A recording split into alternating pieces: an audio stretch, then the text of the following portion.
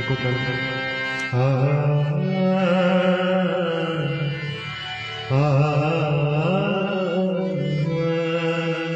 हल हल हल करेगा गोबर सुखाने गोबर सुखाने इसे माछ पर गबन की